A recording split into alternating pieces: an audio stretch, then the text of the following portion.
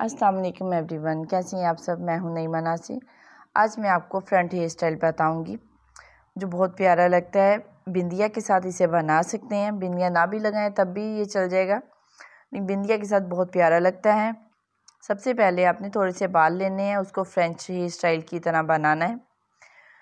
थोड़े से बाल एक तरफ़ से और थोड़े से बाल दूसरी तरफ़ से लेते जाना है आपने और इस चुटिया को बनाते जाना है।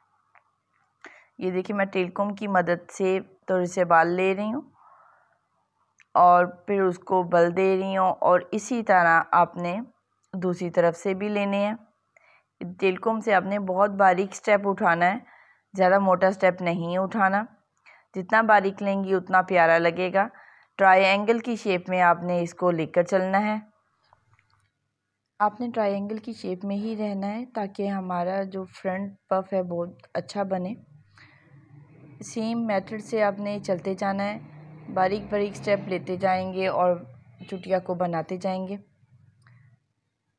आपने टेल कोम की मदद से ही ये करने हैं फिंगर की मदद से उठाएँगे तो बिल्कुल भी अच्छा नहीं आएगा। रफ़ लुक आएगी टेल कोम की मदद से बिल्कुल नीट लुक आती है। आप देख सकते हैं कैसे मैं बिल्कुल नीट नीट उठा रही हूँ।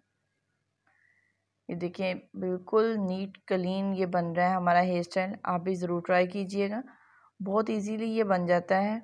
फ्रेंच चुटिया के साथ आप बहुत सारे हेयर स्टाइल बना सकते हैं। आप सेंटर में भी बना सकते हैं, बालों के सेंटर में मैंने वो भी बताया है। आप सेंटर मांग निकाल कर दोनों तरफ़ भी बना सकते हैं।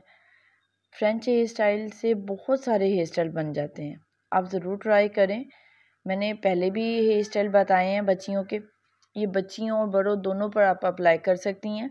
मेहंदी के फ़ंक्शन पर बहुत अच्छा लगता है।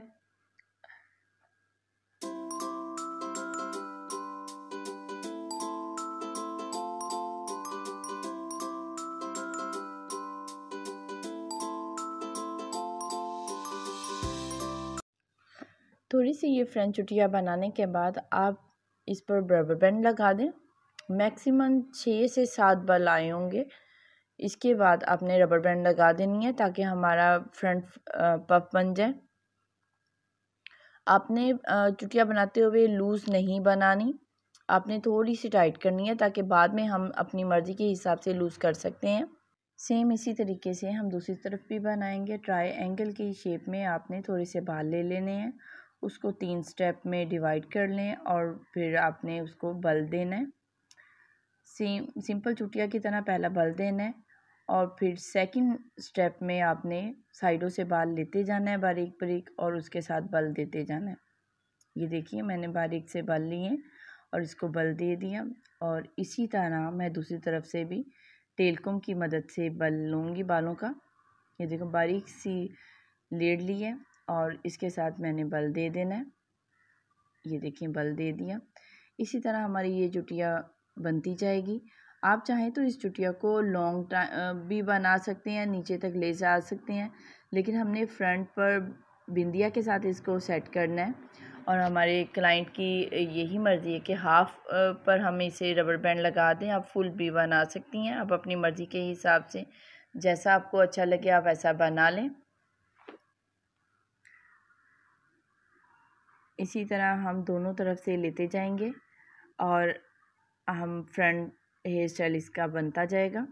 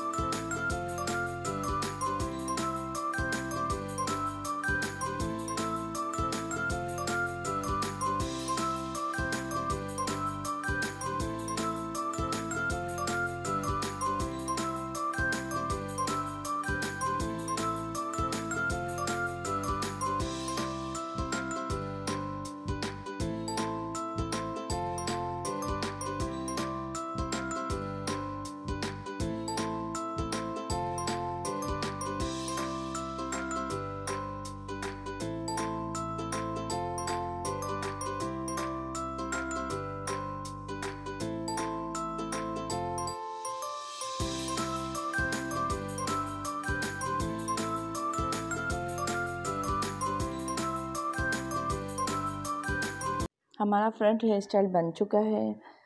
अब अपनी मर्ज़ी के हिसाब से इसे कम या ज़्यादा लूज़ कर सकती हैं। अब हम इनकी बैक पर बैकोमिन बनाएँगे। बैकोमिन मैं इनके बालों की नहीं करूँगी बैकोमिन वाला पैड रखूँगी और उसके साथ बिंदिया सेट करेंगे।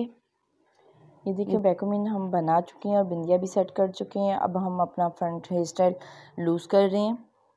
आप अपनी मर्ज़ी के हिसाब से ज़्यादा लूज़ भी कर सकती हैं। मैं अपने क्लाइंट की मर्ज़ी के हिसाब से कर रही हूँ। बैकोमिन इनको ज़्यादा नहीं चाहिए थी, इसलिए मैंने कम बैकोमिन रखी है। आप अपनी मर्ज़ी के हिसाब से ज़्यादा बैकोमिन भी बना सकते हैं। बैकोमिन बनाने के लिए ज़्यादा बेस्ट है बाज़ार से जो बने बनाए बैकोमिन वाले पैड मिलते हैं, वो आप यूज़ करें। उसका यूज़ करने का तरीका मैं पहले अपनी वीडियो में बता चुकी हूँ वहाँ से देख सकती हैं। फ्रंट हेयर स्टाइल बहुत अच्छा लगता है। इस फ्रंट हेयर स्टाइल के साथ आप बालों में कर्ल्स भी बना सकती हैं और खुले बाल भी छोड़ सकती हैं। इन्होंने अपने बाल स्ट्रेट करवाए थे, कर्ल नहीं करवाए। आप कर्ल भी कर सकती हैं। मेरी ये वीडियो आप सबको पसंद आई है तो प्लीज़ मेरे चैनल को लाइक करें, सब्सक्राइब करें। मिलते हैं नेक्स्ट वीडियो में। ओके, अल्लाह हाफिज़।